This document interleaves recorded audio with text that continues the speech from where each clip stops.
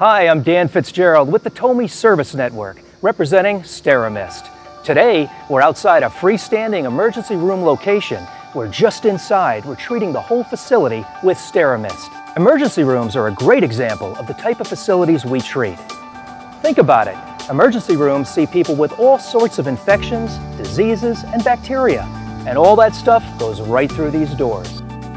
SteraMist is a great tool to mitigate the spread of bacteria and disease by infiltrating and disinfecting every square inch of the space. It goes throughout the space, it disinfects the places we sit, the things we touch, and even the air we breathe. Originally developed after 9-11 by the federal government to combat biological threats, now this amazing technology is available to you, your business, church, school, or medical clinic. Go to TomiServiceNetwork.com for more information.